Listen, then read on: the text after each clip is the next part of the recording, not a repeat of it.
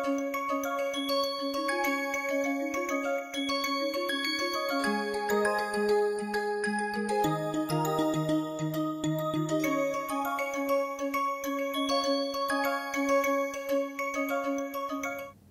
everyone. Welcome to the NPTEL course on remote sensing and GIS for rural development. This is week 11, lecture 2. We are coming close to the end of this wonderful lecture series where I have been getting a lot of comments on how easy it is to use remote sensing for applications for rural development.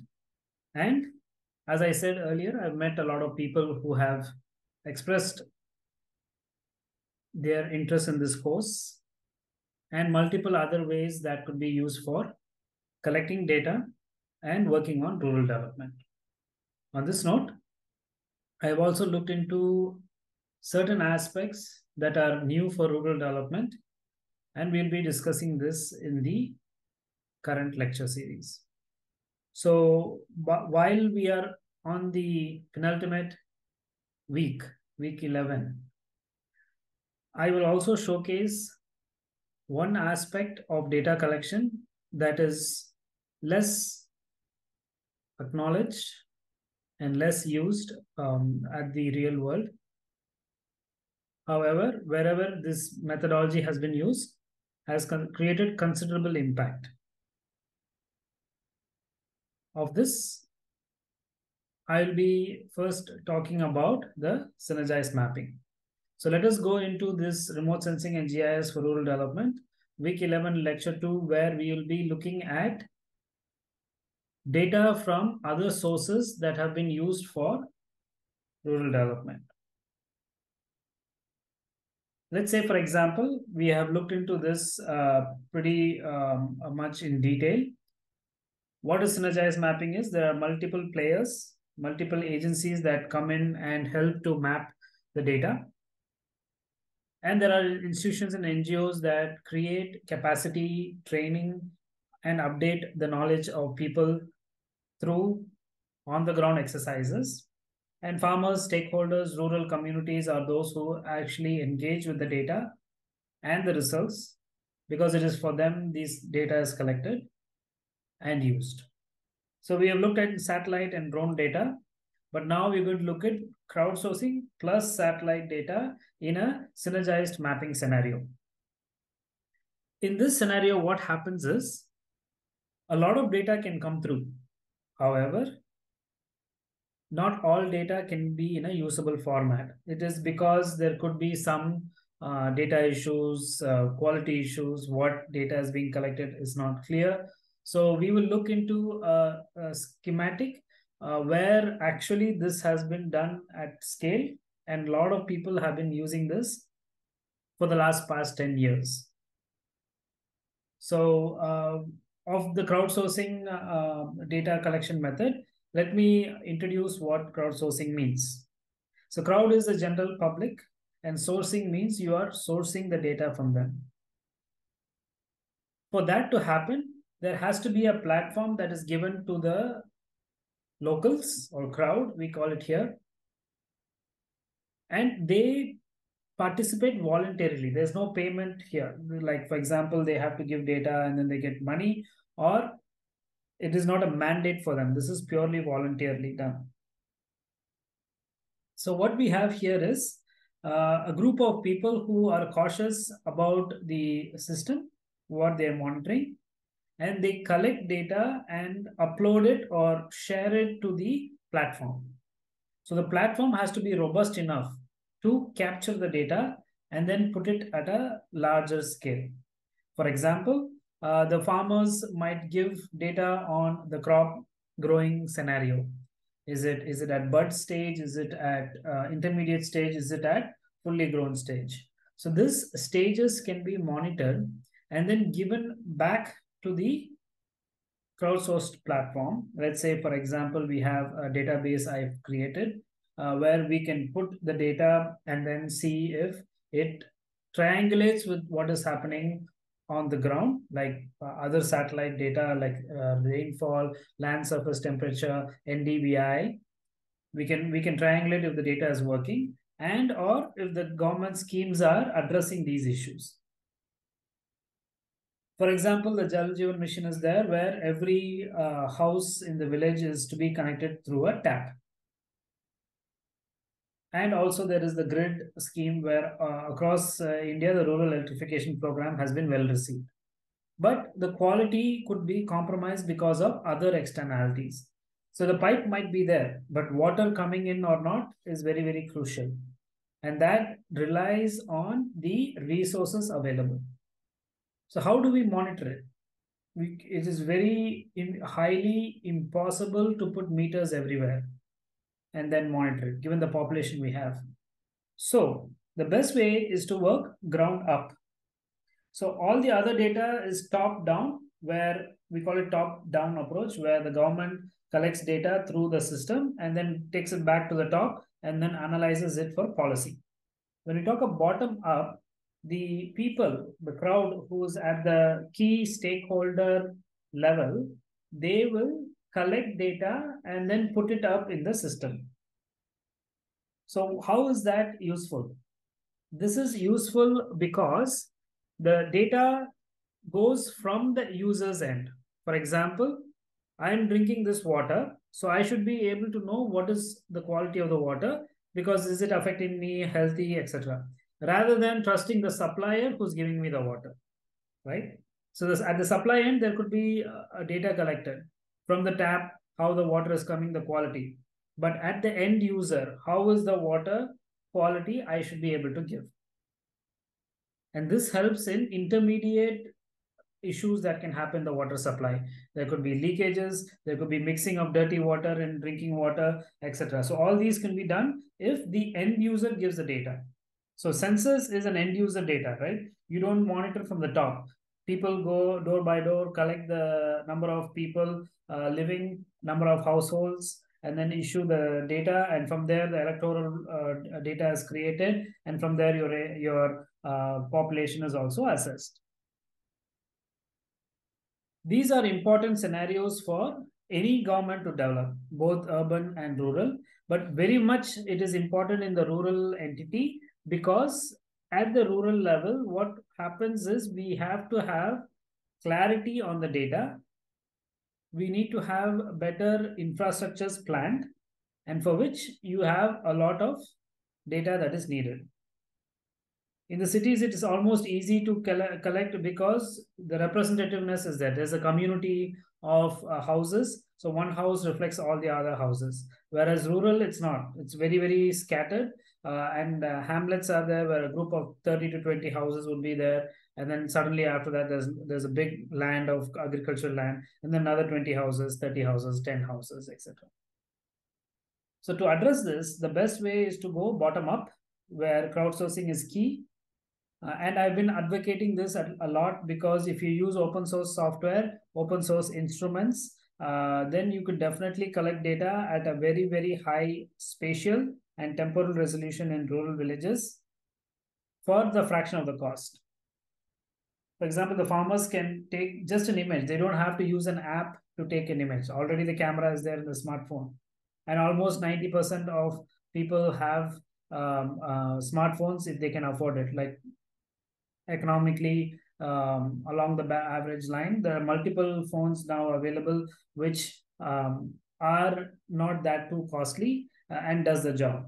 So one quick um, check of the fact is that you do see a lot of uh, TikTok videos and uh, Instagrams, Facebook videos, YouTube videos from villages. And all of that using smartphones. You don't have to have fancy devices. So moving on, uh, there is potential to collect data and put it. Uh, so now why don't we use this for geospatial location data, GIS data is the key. And this is what a company has been working on and looking at this data in a long-term fashion. Let us look at this in a uh, app that has been created in, in recent times. So OpenStreetMap has been widely used it is a very, very uh, sophisticated system. Uh, we will discuss this system in today's lecture and also download the plugin um, uh, in the QGIS software. Uh, and see how it works and reflects the data. So I would like to install the plugin in the current series, uh, and then we will take a call on how uh, this map works. So what we have here is OpenStreetMap is a tool that everyone uh, uses for uh, looking at uh, certain data that has been collected and shared by public. So what is OSM? It was found by uh, Steve Coast in 2009. It is a free open geographic database. It has data attributes, we call them, right? So uh, some data about um, whatever locations, uh, amenities, schools, uh, crops, everything, okay? Uh, you'll be amazed to see the quality of the data. Uh, not all data is there because this is not run by a organization to collect data. It is free open source volunteer data. So only if people pitch in data, you will get data. So uh, let us look at this at a very uh, close angle. Uh, my point here is when I say that all area is not covered, uh, the point I'm trying to make is uh, most of the data is covered and we'll be able to use it um, wisely if we know that most of the data is covered. So starting with no data, at least we have a data that can be used. That is the question. Uh, so we will be able to uh, look at in the next lecture um, a particular uh, state and a particular district. We will download the uh, map uh, and then we'll apply it in this uh, OSM software um, app. We'll, we'll install this plugin in QGIS and then we'll extract data. So this is based on community of volunteers, this data collection. Uh, initially, it was very small in 2009 uh, when Steve Coast had started it, but slowly the momentum grows. So the, like any other company, any other product, uh, it starts slow, but then when people momentum start, a lot of data comes in. The data quality could be an issue. I will open this link uh, pretty soon now. Uh, and uh, it is freely licensed. But again, let's not talk about the negatives uh, right away. There's a lot and lot of positives. Uh, uh, I would say that this is one of the highest updated data uh, that any government would like to use because it comes from the bottom, not from the top, where top down is you will send a person to go collect data. So he or she will travel, go collect data, and then come back, sit and map. It takes time. Whereas here, with the click of a button from the volunteer, it comes straight to the uh, location uh, database and the volunteer is already sitting in the village. So you don't need to have, um, you know, super um, uh, time taken for these kind of activities. So let us uh, open the free OpenStreetMap.org uh, and um, what we'll be looking at is we'll be looking at the uh, data set, the metadata about the data, as I usually am telling you that it is very, very important to have uh, metadata for all the data products that we have. Uh, the boundaries may not be correct because they may use different boundaries, uh, but we are going, we are more important uh, and we are more focused on the attributes. Okay, so uh, let me uh, quickly open it. Um, and while uh, we go to the website, this is the uh, OSM plugin that uh, I'd like you to install. I hope you know how to install it because we have given you the tutorials on installing plugins. however, if there is time enough, we could also show quickly how to install the quick OSM. So I'll go back to this opening this links. please allow me to share.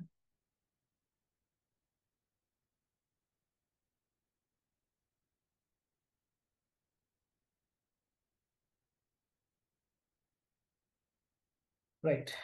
So this is the first link uh, when we open openstreetmap.org. Uh, you have uh, the map uh, coming up. Um, you can search a location. So let's say you can search Pune, as we have been doing uh, for the past uh, lecture series. Yes, I would like to see the Pune, and there's multiple other things in Pune, but let's go here. Okay, so you, here you have the boundaries also. So fixed admin boundary for Kalyani Nagar, fixed boundary for Pune. These are the data that are there uh, in different languages. Also, you can have. Uh, and um, um, in Tamil also it is showing. Um, so there are different different languages and parts available. Okay, so this is the one uh, when you when you open Google and then search for OpenStreetMaps, most probably this will come up uh, because this is um, uh, the basics. You can say learn more and then see uh, where it goes in terms of uh, who's the local knowledge uh, and then how the community is driven. But I would like to see here, show you here, it is hosted and supported by UCL. UCL is the um, London's global university homepage. Um, so uh, it is it is actually pretty good that a university is giving these spaces because someone would have asked me, okay, how how do you get uh, a big a big database and managing the database? All of that is done in this uh, UCL, um, which is good because some some these cannot be uh, uh, by itself um, done. So UCL stands for University College London, uh, and uh, a lot of research activities have been done here. Uh, you could see that uh, the the uh, database it, it stores is pretty uh, historic and it will it will actually do a wonders because um, they cannot afford to do it as a volunteering company you cannot afford to do all of it right so, and also this is supported by Fastly, Bytemark Hosting, and other partners. Bytemark Hosting is also a cloud uh, space, but other partners are also there. So let's first acknowledge all the partners. Uh, from the many support, they've been supporting OpenStreetMap from the beginning at the Bartlett Center. I'm very, very grateful. Bartlett Center is the uh, hopefully the data center that um, creates all these uh, locations. Our built environment is is having some um, data input and data access. Fastly, Bytemark, uh, for many years have been extremely helpful uh, for uh, uh, supporting them and many, many others. Many, many others are here. You'll see mostly, you don't see the proprietary software here uh, because uh, for them, this is kind of um, not uh, they're just cutting in their business and profit, right? So proprietary software have always business these, whereas this is open source. It is free for everyone to use. You can learn more about OpenStreetMap. So let's go quickly and learn more. Um, so you, you see the local knowledge. Uh, what does the local know about the, a particular data set? Let's say water body. Uh, what is the name of the water body? Everything is, is contributed. Uh, contributors use aerial imagery, GPS, and low-tech field maps to verify OSM is accurate and up to date. Uh, so, for example, OSM might contact you after you give data to show that this image we have taken, can you check if this image is correct? Let's say the Powai Lake boundary. Uh, we know that the Powai Lake boundary has been changing because of the um, uh, developments around the lake. Uh, so they'll ask me, okay, is it correct? Is it changing? And then those kind of things we can take from aerial imagery. Uh, then we have the GPS devices. Uh, some people may not have a handheld GPS device to monitor and take data. However, your phones are pretty good. Your phones can take a very good amount of data. So please try to see if you could use your phones um, for uh, these kind of um, data collection and stuff. There are multiple apps for GPS. Uh, please look into uh, your Play Store, Apple uh, store for um, downloading uh, accurate GPS free open source softwares that gives you the location. And in the location, you can mark um, school, education, um, crop type, anything that you can mark. Low field tech maps, uh, so some maps that needs to be updated, and then those are being used. And it is community driven. Uh, a lot of uh, passionate um, uh, youngsters uh, are, are giving a lot of their time to develop this database. Um, and then they're very, who are they? They are very uh, fond of mapping, GIS professionals, engineers, humanitarians, disaster relief workers, NGOs, industries, colleges, institutes, etc. And Open Street uh, uh, maps are free data. OSM is free open data. They're free to use for any purpose as long as you credit the Open uh, Street Map and its contributors. I have I don't I don't see them pull you down uh, but uh, as I said, it is it is ethical to um, uh, thank the contributors and acknowledge them. So please uh, feel free um, uh, and take it as a as a duty to acknowledge them when you use their data. So you see that all my my um, slides when I'm using OSM, I do have their logos. So the logo is meaning of uh, not showing that it is my work; it is OSM work. Okay, so the copyright and, and uh, open data statement tells that it is free and open for everyone to use. So this is very important because a lot of people give money for them, right? So as a as a free open source system, uh, they cannot sustain by themselves. A lot of people have put in money. When they put in money, they want it to be not commercialized but available for the people. Uh, if they start commercializing, then it becomes a company, and I I demand share on the profit, right? So if I'm putting money uh, and they are using for commercial, then I demand money for my services and and budget. But here, since it is um, full open source, Pura open source, it is it is important to understand that there is a need for acknowledging them and it has to be kept open source. Okay, so legal documents are there if you would like to see. Uh, and then these are the partners, hosting partners. Again, UCL, as I said, hosts the data, a part of the data. It's better to break it into smaller bins and then store it. Let's say Asia region is in one, one database, uh, the US region is in one database, etc. Or some attributes. So they'll say all the schools are in one location, all the hospitals are in another location, etc. So the key contributors, if you to see, you would see multiple countries. You don't see India yet. Maybe it's not picking up yet. Uh, so hopefully it will pick up. Uh, and then there are trademarks for the brand. Uh, OSM as a brand has been trademarked. Okay, so in the OpenStreet communities, if you go to the community part, uh, okay, I'll go back to what is OpenStreet uh, maps. We've learned a lot. So you can see the history of your um, uh, your searching and and um, um, how people have updated. As I said, uh, in this location, who's updating? So if I change the location and then uh, go to let's say Chennai uh, and then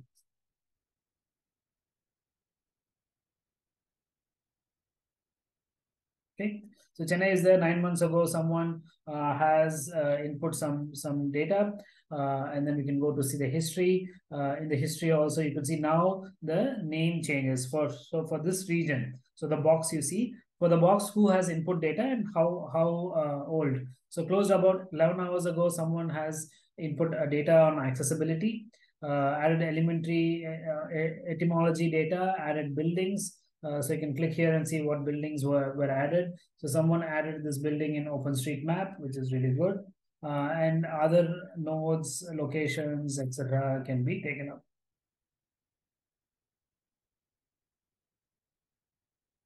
Right. So in the history side, we do see a lot of these data two two um, three days ago three days ago and um, somewhere your name and other uh, uh, stuff is being added uh, because they say how many edits map nodes etc so here is where sometimes you may not um, get uh, very very accurate data but it is your uh, role as a researcher as a student to make sure you verify the data uh, because it's open source. People can put um, data that is not correct and accurate and that is not purposely done. It is done also because uh, maybe they didn't know the correct way of doing it. So it is up to you to uh, correctly map. So when you start mapping you'll have to sign up uh, display name your profile and then you can create the maps where you want to put data and other sources so this is it about uh, OpenStreetMaps. Uh, you have GPS traces where um, it tells you uh, someone has traced a route uh, from drag point, uh, Toyota price from a car, uh, and then a lot of other people have done traces using their GPS data. So basically, they have taken the GPS um, location and road and path, and they're putting it into it. So user diaries are um, about users and how they have mapped, how it has helped, etc. Hospitals, locations, if you see this, it is mostly uh, very, very useful in uh, developing and underdeveloped nations uh, because you don't have a uh, set agency like NASA or ESA for helping them using remote sensing data. So crowdsourcing is the way forward. And then we have the communities, as we said, we already saw the communities. Are multiple OpenStreet communities. We don't have one for India yet.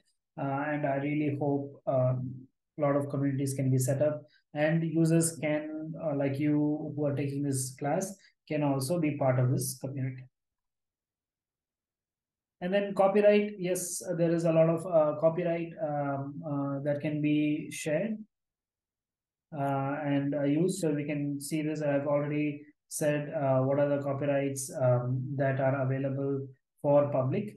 Uh, you can you can pick and choose your copyright status depending on how you use the map and for what you use it.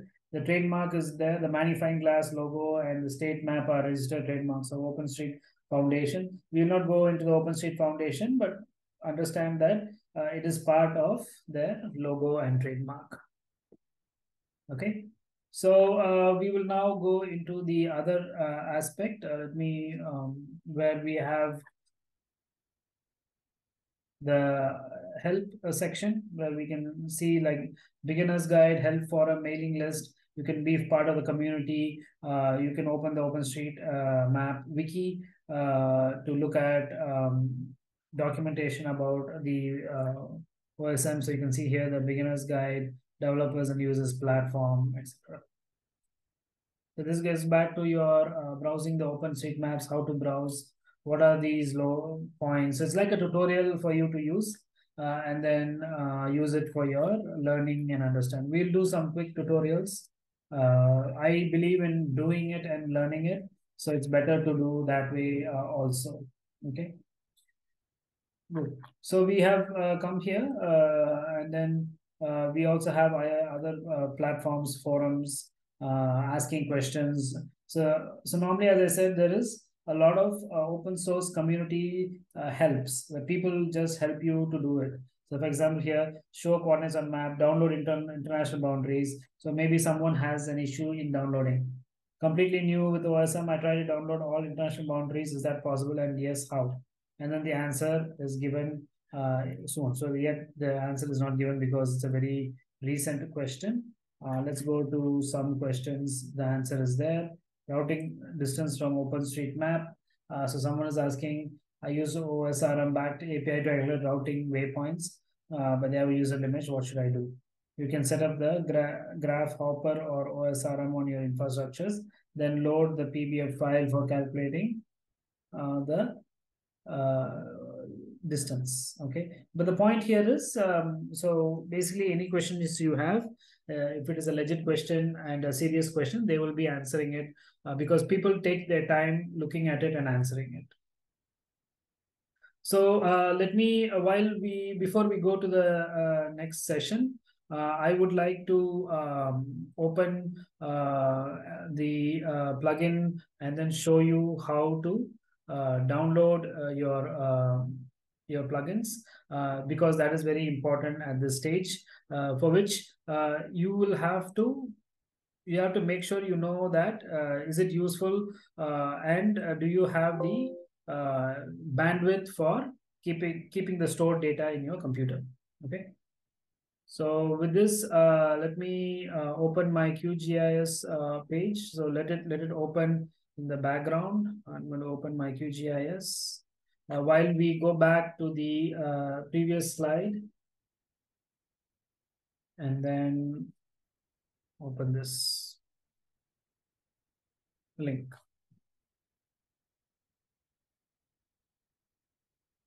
Okay. So We will also look at the files, the metadata as promised. Let me open, so which is here in the web in the page, bottom uh, right. Uh, I'm going to open the um, the Planet OSM, uh, which is the metadata. Uh, download space are currently restricted, so you can download the data. So here's where you can learn about the data and download the data. So latest uh, torrent file on um, uh, data that has existed. 125 GB created two uh, two days ago. Uh, latest weekly change sets. Uh, all in a torrent site. You'll have to use torrent to um, download it. Uh, and again, this is if you want to download the entire data.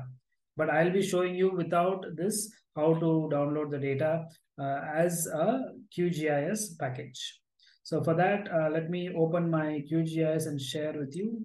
So Okay. So I'm going to share my QGIS. Yes, we have my QGIS. Uh, and um, yes, we share my QGIS. Uh, so what you see here is an empty slide. Uh, I'm going to go to plugin, manage and install plugins. It will first uh, open that pop-up which says I'm going to download the repository, let it download, uh, and then this happens. So in the install, I have all these installed uh, for my previous um, maps. Now I'm going to type Q quick OSM.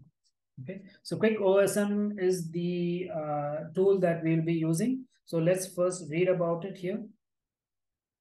Okay, so it says download OSM data thanks to the Overpass API. You can also open local uh, OSM or a PBF file. This is also the logo trademark by them uh, uh, in terms of uh, using it for data. Uh, parser top OGR is used to let you see all the OSM keys. 250 ratings, look at the number of downloads, uh, literally a lot of downloads. Um, and then the tags are OpenStreetMaps, etc. So OpenStreetMap is what we want. Uh, we will click it. And then once this happens, we say install plugin, let it install. Depending on your internet speed and internet bandwidth, it will take some time. Okay, so now it has done. So quickly, this will get updated. Just see it. Okay, here is what happens. Uh, plugin installed successfully, and we have the QSM page that we have. Uh, so it says the version. So initially these were not there. Now it says 2.1.1 updated August 21. Um, and these are the versions, uh, add a warning key, how this is improved than this. So we had 2.01, 2.10, 2.1.1. Uh, we're going to use the uh, uh, recent one. So this is about learning on uh, what are the issues in the previous and how they fix it. Fix an issue with installing Q quick QSM plugin, good, and then we'll close it. So now if you go to vectors and then say, see the vector tools, you'll see QSM, okay? Uh, do not open this now, we don't want that, but uh, QSM is what we'll be using for our uh, lecture in the next um, uh, lecture because right now let us set it up um, and I also wanted to show you something that is needed for uh, collecting data quickly from OSM. So I, I'm going to add uh, my uh, India layer. So we'll go here in my GIS layers we have.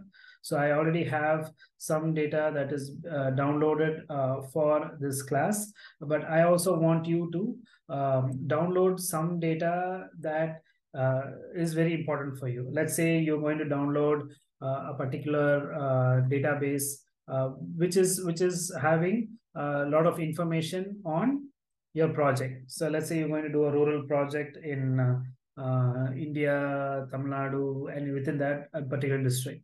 So how do you go about it is the question. So here we will we will look into um, uh, a particular database uh, and then uh, we'll see if um, how how we could download the data, use it in in the uh, following uh, ways. Okay, so uh, I'm going to now download first attach my district and full states.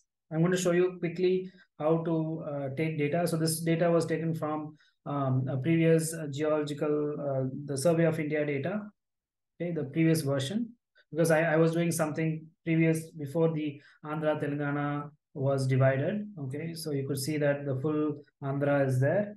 Um, uh, so this this was used for my particular research interest. Um, and then you also have vector data.